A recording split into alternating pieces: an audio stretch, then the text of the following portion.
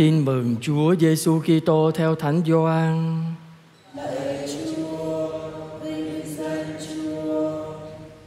Khi ấy Chúa Giêsu phán rằng: Thật ta bảo thật cùng các ngươi, ai không qua cửa mà vào chuồng chiên nhưng trèo vào lối khác thì người ấy là kẻ trộm cướp.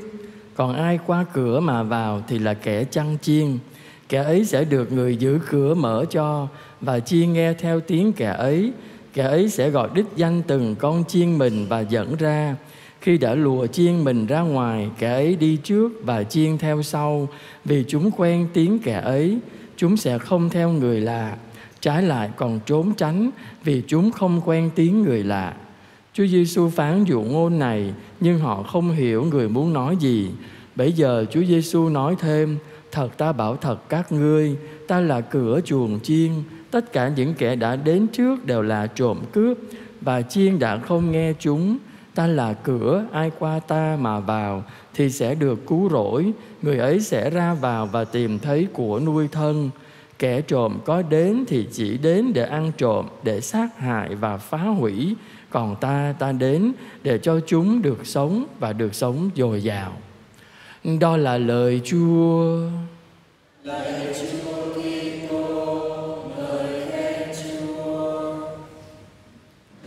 được sống và sống dồi dào. Thưa quý bạn chị em thân mến, trong bài tin mừng chúng ta nghe và trong suốt tuần này, chúng ta sẽ nghe ờ, rất nhiều lần lặp lại nói về vai trò người mục tử. Đặc biệt ngày hôm nay, Chúa Giêsu cho chúng ta thấy sự phân biệt giữa người chăn chiên và kẻ trộm. Vậy thì người chăn chiên và kẻ trộm khác nhau ở chỗ nào?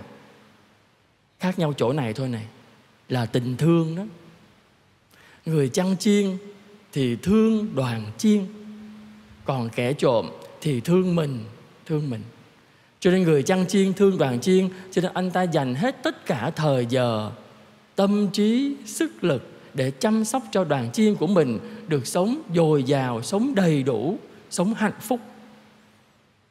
Còn người ờ, kẻ trộm thì đến chỉ ăn thịt chiên thôi à con nào béo, con nào tốt là đem đi chiên hết ờ, nướng hết để anh chi? Để phục vụ mình. Cho nên sự khác biệt giữa người chăn chiên và kẻ trộm là ở tình thương. Vậy chúng ta nhìn thấy hình ảnh đấy nơi Đức Giêsu đấy. Chúa Giêsu là người chăn chiên nhân lành. Ngài yêu thương đoàn chiên Ngài hy sinh mạng sống cho đoàn chiên Và Ngài làm cho đoàn chiên không chỉ được sống Mà sống dồi dào, sống hạnh phúc. Từ hình ảnh đó chúng ta liên tưởng đến cuộc sống của chúng ta hôm nay để dễ hiểu hơn. Quý bạn chị em thấy ai trong chúng ta cũng có cha, có mẹ đó.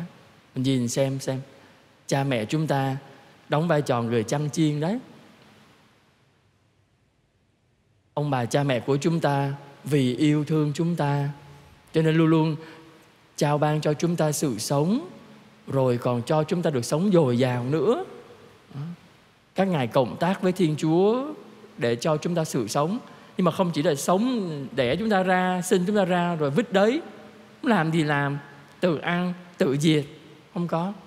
Ông bà cha mẹ dành bao nhiêu công sức và dành cả cuộc đời của các ngài để chăm sóc cho từng đứa con, từng đứa cháu được lớn mạnh, được khôn ngoan, được hạnh phúc. Lý do tại sao ông bà làm như vậy, cha mẹ làm như vậy, không có lý do gì khác. Đó là tình yêu dành cho con cháu của mình thôi. Từ đó chúng ta nhìn lại xem, bây giờ chúng ta đang được chúa ban cho mình sự sống như này và Chúa đang cố gắng ban rất nhiều ân sủng để cho chúng ta được sống dồi dào, nghĩa là sống hạnh phúc trong ân nghĩa của Chúa. Vậy thì mỗi người chúng ta đang sử dụng sự sống Chúa ban như thế nào? Chúng ta có sống đúng không? Chúng ta có biết bảo vệ sự sống cao quý mà Chúa ban cho mình không? hay hàng ngày chúng ta đang hủy hoại sự sống mà Chúa ban cho chúng ta bằng cách là chúng ta ăn chơi phá làng phá xóm hủy hoại sự sống của mình bằng biết bao nhiêu thú vui của thế gian. Đấy, chúng ta chúng ta đón nhận sự sống của Thiên Chúa qua ông bà cha mẹ của mình. Nhưng bây giờ chúng ta đang sống sự sống nó như thế nào? Một điểm nữa, mỗi người chúng ta không chỉ sống cho riêng mình, mà còn là sống để đem hạnh phúc cho mình và cho mọi người. Thế chúng ta có đem hạnh phúc cho nhau không? Hay chúng ta làm cho nhau đau khổ? Mỗi người chúng ta hiện diện trong gia đình của mình, trong cộng đoàn của mình. Chúng ta nhớ rằng tôi hiện diện, tôi sống để đem lại niềm vui, hạnh phúc cho người thân của tôi, cho người bên cạnh tôi. Vậy thì biết bao nhiêu lần chúng ta làm cho những người thân chúng ta không hạnh phúc? Khi nào?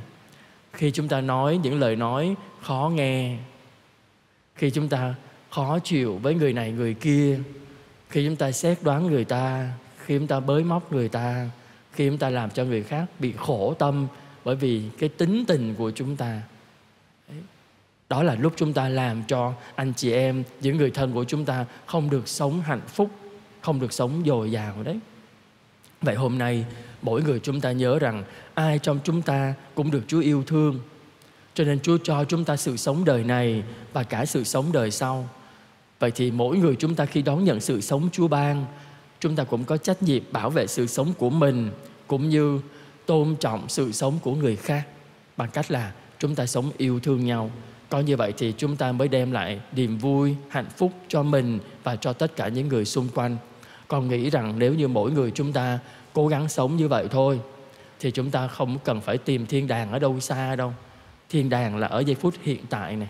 Bao lâu chúng ta sống với nhau, chúng ta cười nhiều hơn, vui nhiều hơn nói lời yêu thương nhiều hơn thì tự nhiên chúng ta sống dồi dào à. còn nếu mà chúng ta cảm thấy đem lại cho những, cho nhau đau khổ thì chắc chắn chúng ta thấy cuộc sống mình nó nặng nề, nó bất hạnh. Và chúng ta xin Chúa Giêsu mục tử cho mỗi người chúng ta khám phá thấy tình yêu mục tử nơi Đức Giêsu.